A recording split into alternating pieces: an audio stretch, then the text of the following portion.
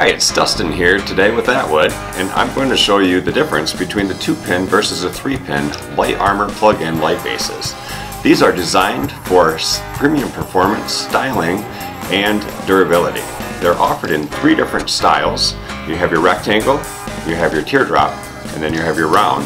And all of these styles either come in your black composite or your stainless steel finish. You may be asking yourself, what the difference is of the 2-pin versus the 3-pin.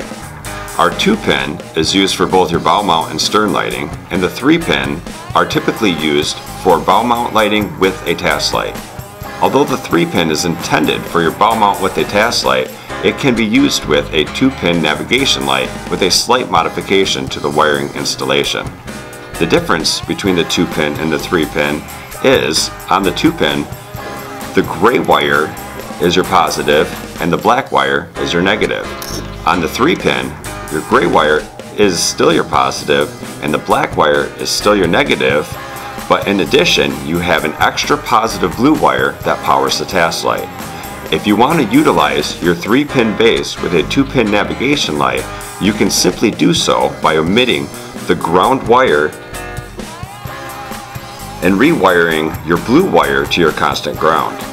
Don't forget, for installation, your plug-in light bases need to be properly fused. How-to instructions can be found in your user manual on or online at attwoodmarine.com.